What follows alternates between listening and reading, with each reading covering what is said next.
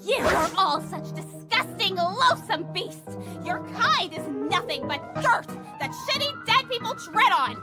And now you're trying to meddle with the lives of humans? So are you! So why don't you shut your trap, you judgmental cotton